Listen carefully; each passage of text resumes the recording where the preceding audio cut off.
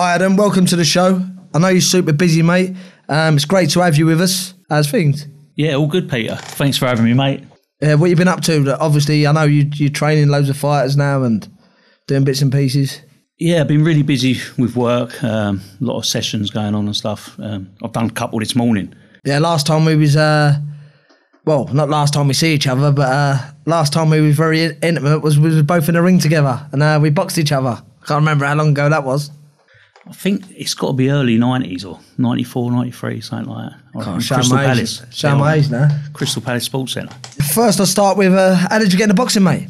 Um, way I got into boxing quite late. Um, same. Everyone says the same old stories. I don't want to sound like a bit of a donut, but got in a bit of trouble when I was young, getting a bit of fighting and stuff, and ended up getting arrested um, for a fight at a party. And one of the charges was a fray, which I weren't even didn't know what it was, but I charged that. yeah, solicitor said you a chance of prison with that one, which God, my bum fell out then, proper scared, and um, yeah, after it all got off with it anyway, got off, but then Dad said you got to do something, go down to the boxing gym, and I went to um, Kingston Boxing Club, Freddie Bar's club. Yeah, he was a good trainer, Freddie. Yeah, Um, went to see Fred. how, how old? How old was you? I think 16, 17. Yeah, you started late then. Late, yeah, yeah. late. Yeah. Yeah. What was um What was your first experience in the in the gym? I always remember because I went up to Fred and I went, I'm Peter Martin's boy. And my dad done a lot of boxing. He won the school boys and that. He was a good fighter, my dad. And Fred went, oh, it's Peter Martin's boy. I think he thought, because who my dad was, I was going to be out of box, but I was useless. Like, Yeah. no coordination, all that. Stuck me on a bag. And basically, yeah, I didn't have a clue. And he done one of them. Fred, like, ain't you good at football? And I was like, yeah, because I was playing for Corinthian Casuals. They weren't a bad team. Yeah. And he basically said, why don't you stick to the football? Yeah. Just do the boxing fitness. And I, went, you know, I must be bad. Yeah. But, so I stayed there for a bit, but I wanted to compete, so I ended up going to the Foley. Yeah. It's a good club as well. Yeah, Foley was a bit old school. They basically let me box the next week. Yeah. Didn't mess about.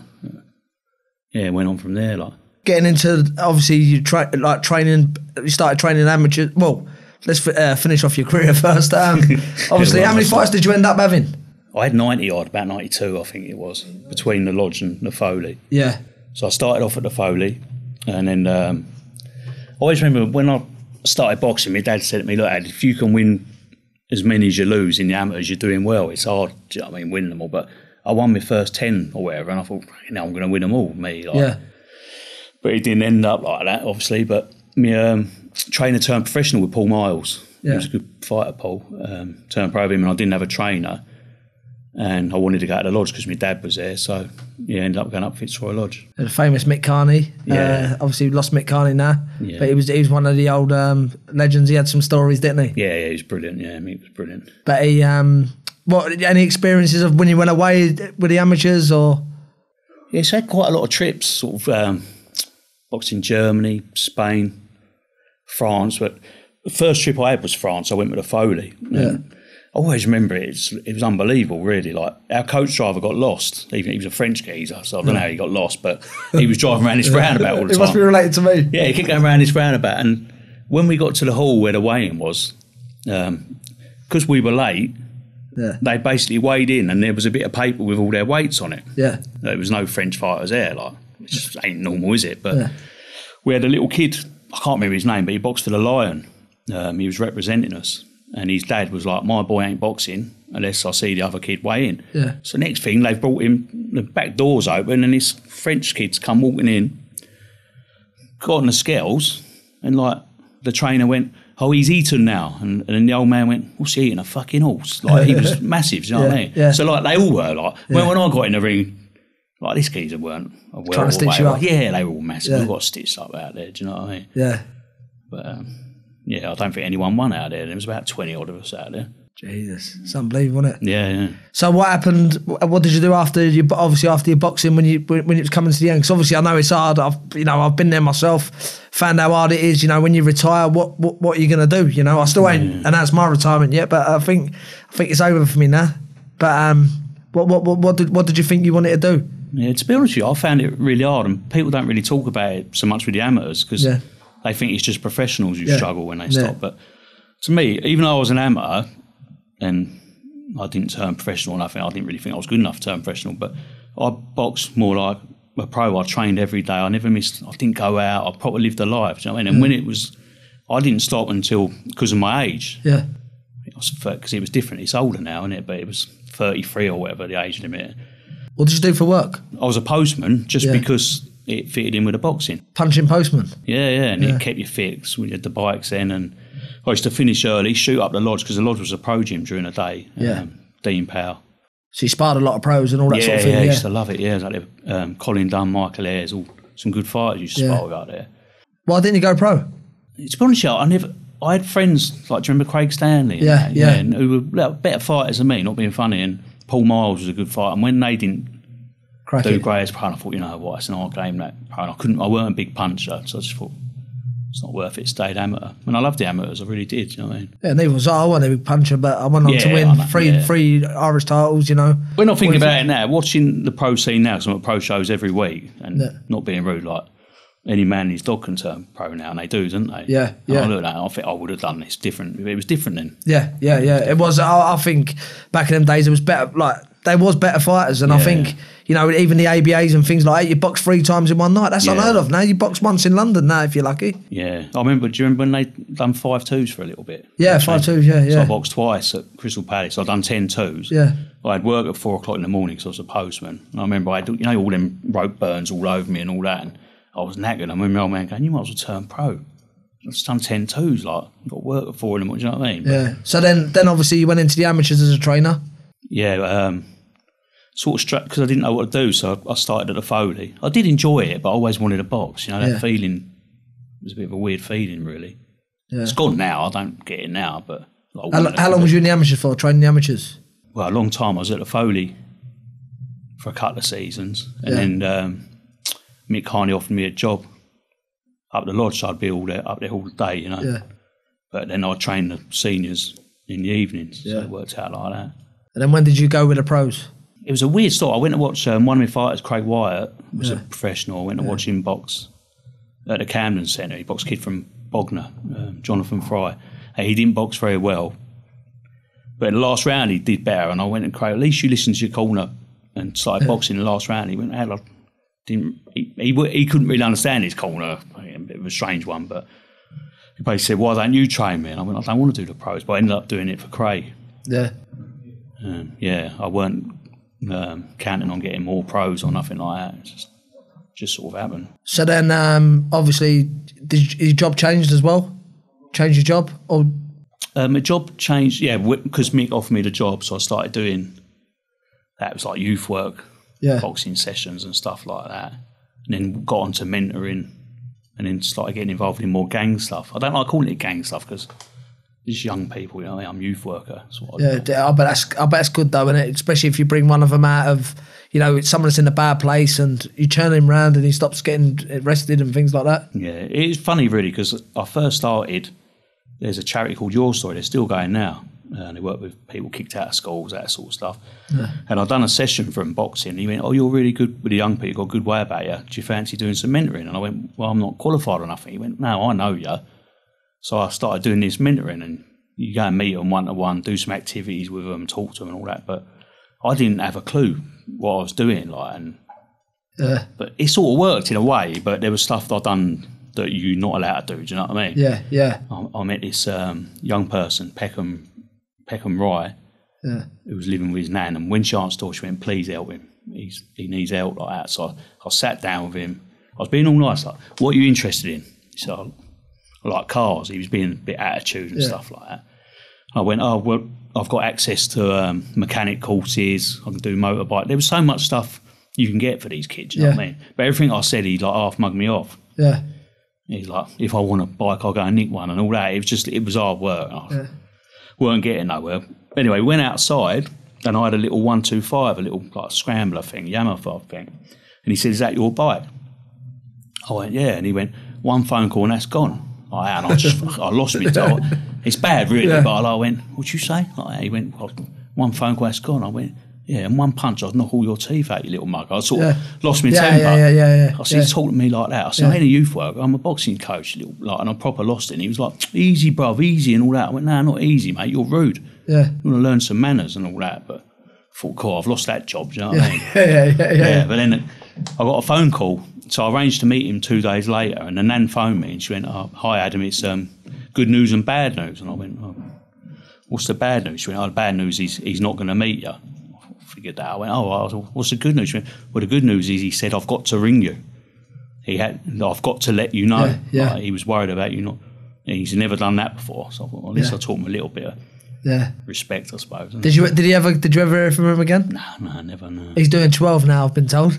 Yeah, probably, yeah. What sort of? What else are you doing? What other, other sort of stuff are you doing at the moment? Uh, like with the youth work, so I've um, run gangs projects. I've been lucky enough to run, run them all over London. So I've, I was in Tower Hamlets for a few years. I've done one in um, Tooting and Mitcham, Yeah. and now I'm based in Kennington. And they call them gangs projects, but it's just anyone who's in, every young person is in danger of being involved in a gang or gang activities. I mean, so I work with anyone, but So, um, any funny stories like with with the gang peep kids or? a few few things like um, when I was in Tower Hamlets, like Bethnal Green, I get these referrals from the prison service, like a company called Nacro, and Yeah. when someone comes out, they put in placements they want to Yeah. do stuff. So, big lad, right lump, come to see me, want to get involved, and I said, look, I'm just going out to do outreach. So, outreach is when you walk around the estates, talking to young people and stuff like that, try and get them into your session. So, you walk round me and I have a chat with you. So you walk round, so I see this young young Asian kid, all scars on his face and all that. And I, I was talking to him. I said, I'm looking for young people who want to do a bit of boxing. He went, Do you want me to take you to where the kids are now? I went, Yeah, please. So he's riding along his bike, we're following him.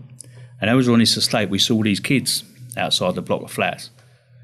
And um, yeah, he started, uh, it was funny, like he started going, as he's seen them, he's going, Yeah, come on then, Bethnal Green boys, yeah, I'm with my men, like that. So this geezer with me, he's gone like, is this outreach then? I went, no, no, it ain't. I went, oi, what are you doing like that? And he's like threatening them, trying to get them to have a like a punch up like that. And I'm going, no, no, no, no, like, like, and he's rode off on his bike. I went over and spoke to him, but he was like a rival to him, do you know what I mean? Trying to stitch So stitch up. you up, yeah, yeah, yeah. yeah. I know you had something on um, happen. Was it on a football pitch? Yeah, I- I've had quite a lot of things, you know what I mean? But um, I had a football team playing um, football tournament at Elmers End. It was run by Crystal Palace Yeah. community Yeah. thing, and um, our team weren't playing. It was like a five-a-side competition, and there was um, I was watching these other kids playing. Someone fouled someone, but then they squared up. But one of them said something about I'm going to shank you, like stab you Yeah.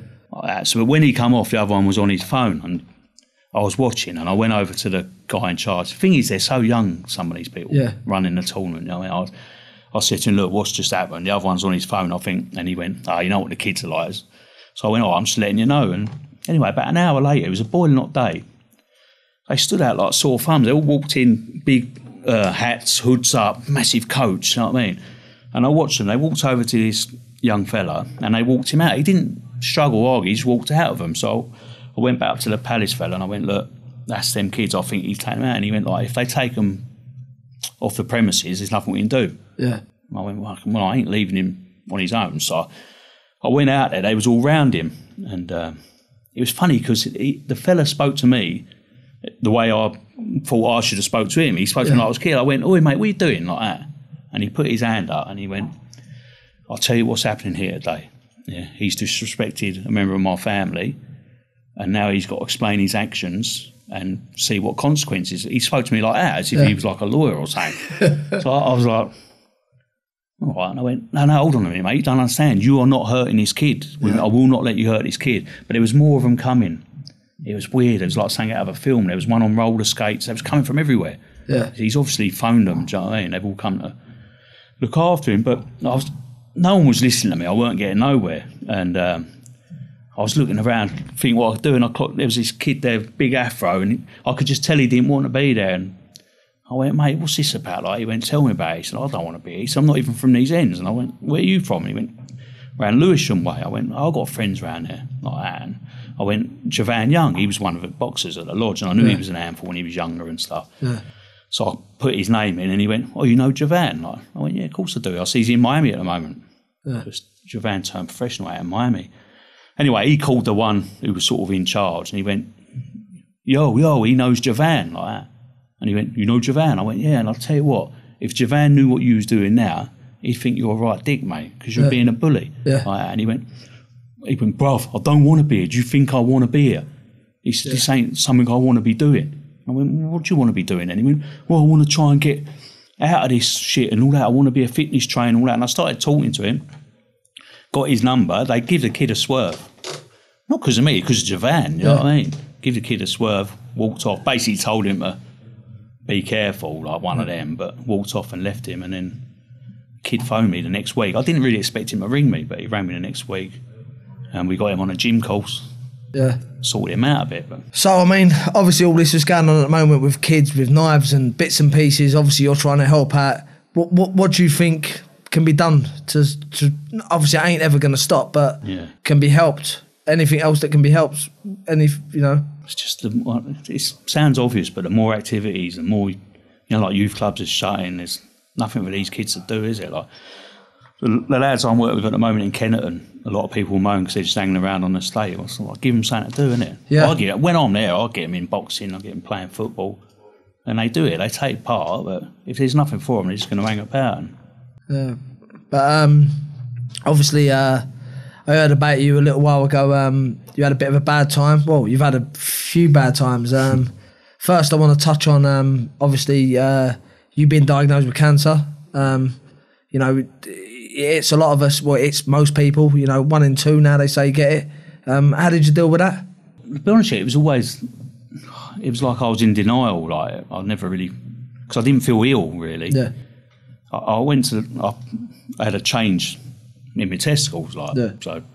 I went to the doctor, told him. so you did grow a pair in the end. Yeah, just he had a little feel, feel about and all that, and he what did he give me first? Like some anti-inflammatories or something. Sent me away, and then I weren't happy about it, and I went back a week later, whatever. He gave me antibiotics. But then I was at a boxing show at Tower Bridge at the City Grange Hotel, Yeah, um, like a charity thing, and my stomach was just it weren't right. I mean, it weren't Yeah. normal stomach ache, and I told my wife, and she went, "Right, I'm getting you up to the hospital," and they basically diagnosed me there. But they, they can't diagnose you, but they told me what they thought it was. yeah, Um, so yeah, then I got put on that like cancer list where they do it really quick. They see you really uh, quick. Had the operation, had it removed. yeah, It's scary though because um, me and my wife sat with a surgeon before the operation, and he he said, "Can I just say you well done for getting it early? yeah, This kind of tumour, you could have been dead by Christmas." He went like that. yeah. So I thought- my wife's all upset Yeah. and I thought, thanks, mate. But I suppose they're just. Yeah, Saying precautions, well done for being yeah, yeah, early, yeah. innit? But- What what treatment did you have for that? I was I was lucky, really. I had um, one lot of chemotherapy, Yeah. and then um, I've been all clear. How, how did you feel now. mentally with that though? Was it, how did you get through it mentally? Um, it it helps with the, like my wife's brilliant. Then she didn't let me go to one appointment on my own, and she's always with me. So Yeah, and I had support with all my family, so it was brilliant. so that's But, great um, support. I just had a bit of it was just sort of run of bad luck, you know. what I mean? And um, I can't this thing on my tongue, and it wouldn't go. Yeah, we were meant to be going out that night, uh, someone's birthday, and I went to the walk-in clinic. I just said, "Look, "I've got this thing," and she looked at it. She went, "Whoa!" That's what she said. She went, "Whoa, Yeah. that could be cancer. That's a lump. You Yeah. have to go to proper hospital." Like, I can't Yeah. tell you. I thought, "Oh, not again." I said, "How Yeah. bad luck can you have?" what year was that in? Was that a year? was that Last same year, year? like last year, yeah, Well, what year did you have the cancer? Was it last year? yeah, yeah, Last year. So you had last year the cancer. and then the mouth Yeah. thing, like, like a month after my thing, like it weren't long. So then obviously you thought 2019 is going to be a great year. Yeah, And what happened in 2019? You had another uh, accident, didn't you? Yeah, I got knocked off my motorbike. on the A3 by some geezer. He got nicked, like, it was his fault, he just drove into me. I went flying, mate. I was I thought, it's the weirdest feeling. It was like slow motion. I was flying through the air, and I thought, well, I like see. All I could see was white, like, and I thought, I'm going to land in a minute, like, and I, then I went bosh on this, like, obviously motor in front, but then I was flying again. I thought, what's going on now, like, and then I landed on, on the- the one behind, sort of thing. You weren't smoking nothing, was you? No, no. Then I got up, climbed over the barrier because I was worried about getting run over, and then sort of collapsed in someone's front garden. Because it was round the corner from my house, a car went past and spotted me. And she started, she went, Do you want me to get your wife? And I went, Yeah, but she can't. She went, What the fuck have you done now? She went, Wait, didn't ring an ambulance? Yeah, the ambulance, they rang the ambulance. Yeah. Yeah, yeah, yeah, ambulance come. But So- I only broke my fingers, like, broke my little finger.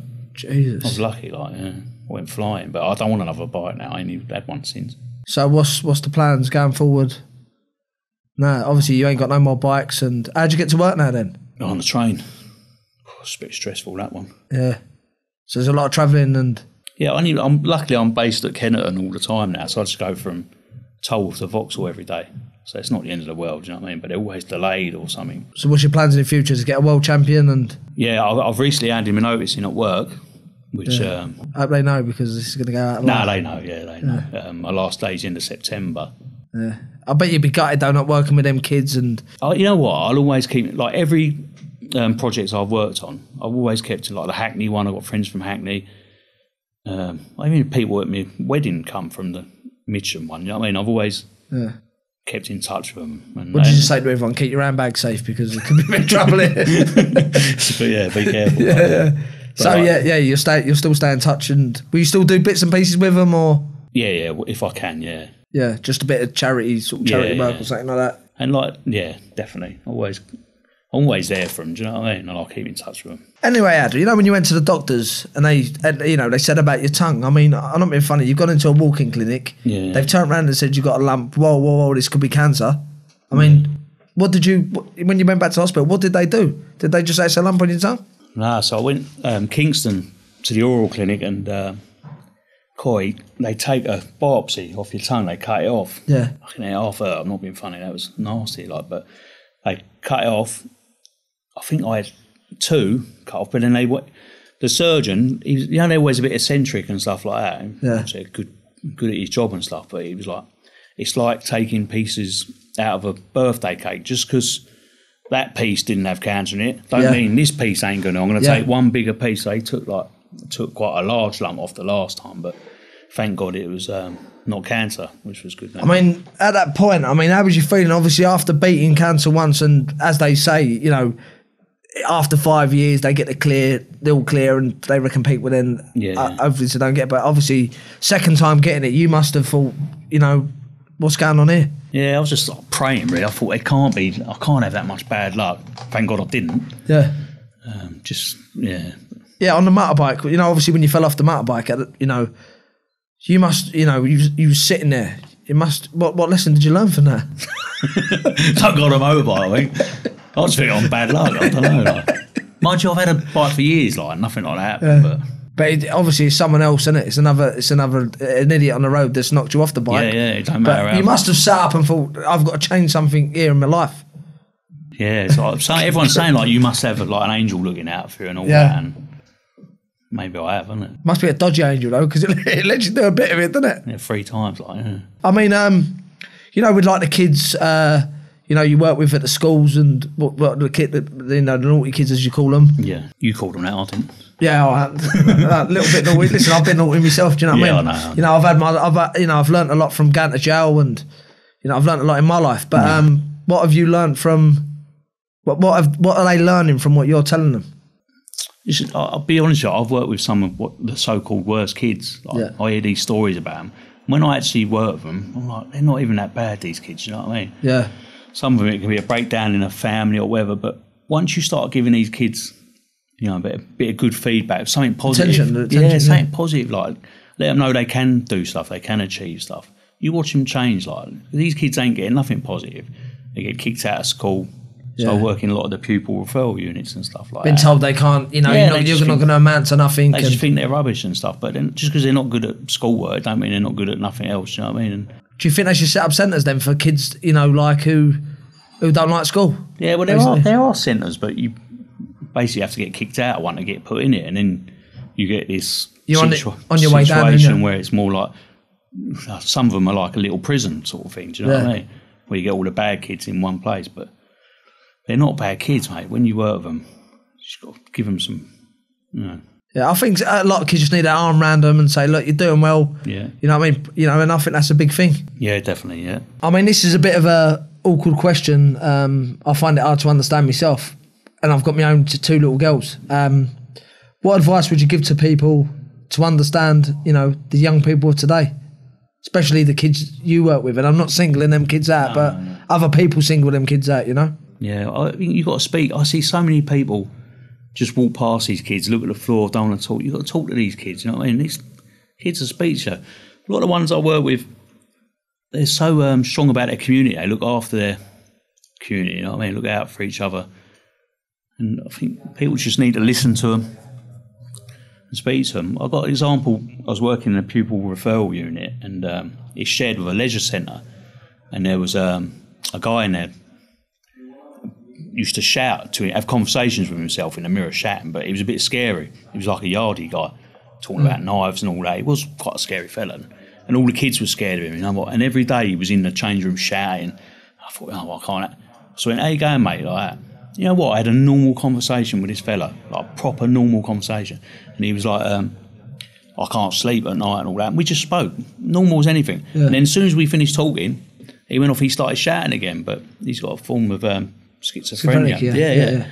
But like when we was walking down with the kids down the corridor, one of them who weren't there went, "Oh, there's that nutty one down there like that," and one of the other kids went, "He ain't nutty, sir." Talking to me, call me sir. But sir talks to him like that. He's normal. He's just got like a few problems like that. And I thought they, they've learned. Yeah. Do you know what I mean? Like not to judge people and Never judge a book by its cover, yeah, sort of and talk to people. Yeah, definitely. So your advice would be, well, maybe, Jesus, what does Go around talking to nutters. No, I mean, so your advice would be just to maybe sometimes reach out to people and Listen to what young people are saying. Hear them, like talk to them. yeah. I mean, the generations is skipped. It's skipped one generation, and it? It's, it's the generation of today is not like our generation. Without that, I mean, my dad says it. Used to say it to me when I was young. Like, you know, you're not the same as what we was, but it is. It's the same now with the next generation to a degree, innit? Yeah, To yeah. us. Yeah, You know, it's hard for these kids now. I wouldn't want to be one of these kids growing up. Can't go to certain areas, Yeah. postcode things and all that. Yeah, It's you can't you can't buy a house. It's hard to buy a house. You know, get yourself on the ladder. You know, it's hard to get jobs if you ain't got an education. Yeah, You know, it, it is hard. But um, so you reckon that's the way to sort of go forward? yeah, definitely. Yeah, Well, as you know, Ad, uh, podcast called Journeyman. Obviously, I set this up to spread the word. Just if we, if we help one person, help one person, right? What is your biggest uh, thing you learned from obviously having cancer, um, nearly having cancer the second time, falling off your motorbike? You know, that's three near-death experiences. How, you know, how, what what is the thing you can give to people out of this podcast that will help them in life? Be honest. I've always gone through life doing everything for everyone else, never really doing nothing for myself, and that's why I'm changing stuff to follow my dreams, come my goals, make everything better for me and for my family, and not just do the safe. I was always doing what was safe just to pay the mortgage and stuff, but I want better than that, better than that for me. So you've realised now in life that uh, there's Yeah. more to life than just doing that. Life's too short. Go follow your goals. Go for it. And uh, your your advice to um, any kids that are out there at the moment that are causing trouble and do you know what I mean? Is there any places for them to reach to or Yeah, get down your local boxing club. Yeah, boxing clubs everywhere. Every area there's a boxing club, isn't there? what about girls? yeah, and girls now, isn't it? But Yeah, yeah. Or do something. Yeah, It don't have to be boxing, does it? It can be anything. yeah, Something yeah. that gets you off the streets, gets you active. Something that you enjoy. Do you know what I mean? Get a hobby. Get some friends that are out of gangs. yeah. I try with my kids, you know, um, keep them off social media. Obviously, my youngest ain't on social media. My eldest is. Um, what do you think about social media and things like that? Do you think it should be limited time on social media? Yeah, I, you know what? I don't really know. Social media changed it. I thought I was up with all the social media, but the young people I work with tell me I'm old. They don't use Facebook anymore and all that, and all using Snapchat now and all that. They tell me, but Yeah. but I don't know. You still got BB BB Messenger, in you? I'm with BlackBerry, yeah. yeah. But my little boy uh, Rocco, he was playing Fortnite for a bit. but We banned him from playing that. Like, Yeah. it just takes over your life, like all that stuff, isn't it? yeah, yeah. But Peter, so what I've been through, I'd say you've been through as bad, worse. You know what I mean? Big operation and stuff like that. What's changing for you? What's it done for you? again, it's to sit up and think uh, what you've got in life, the people you've got round you, the people you want round you. Um, I think it's uh, it's the same sort. Well, it's not.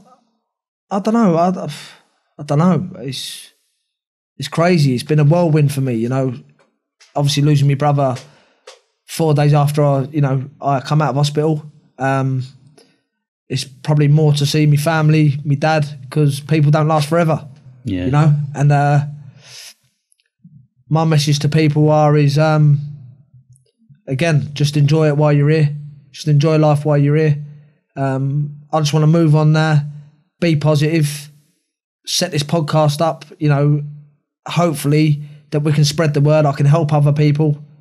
You know, in in any like all different ways of life. This ain't although this is a boxing podcast, and I'll you know I'll have boxers on it, but I'll have all different kinds of people on it because what I want to do is spread the word in everything: cancer, bullying, uh, every everything. You know, I, everyone does spread words, but I want to spread it in everything and make it a bigger bigger outset. Do you know what I mean? And you know, and and try and everyone learn a lesson off every person I get on the podcast, and that's my uh, claim for the future. Yeah, definitely. Yeah. So obviously, Adam, you're a pro trainer. Um, how do you see the Joshua Ruiz rematch? Uh, I expect Joshua to have learnt from the first one. Yeah. Um, he weren't right. Everyone can see he weren't right, and boxed a, a plan and boxed Ruiz his ears off. Like, you know what I mean? Use his skill. Yeah, but how many how many rematches um, have actually people beat them and rematch it in big rematches? There's not many, is there? Yeah, I, know what you're saying, and Is six months going to have changed that? I'm not saying he said give me like that. Josh is going to do it, but I know he's capable of doing it, Yeah. um, and I hope he does do it. I like Josh's. You know what I mean? Yeah, but is, is that your, your prediction and you're going with Joshua on points? Yeah, yeah. Or, or even a stoppage. I think, I don't know how Ruiz is obviously going to be even more confident. He's going to think he can walk through him this time and Yeah. so and Joshua uses his brain, boxes the right fight. I think styles make fights, and I think Ruiz beats him again. Um, but anyway, Adam, it's nice to have you here, and um, uh, great work you're doing with the uh, community. And uh, I'm glad you're going to go on to do what you want to do in the future. And um, listen, all the best in the future. Health to you and your family and kids. Thanks for coming and see us. and you, Peter. Thanks very much, mate. Thanks, So, mate. Cheers. Yeah, cheers, mate.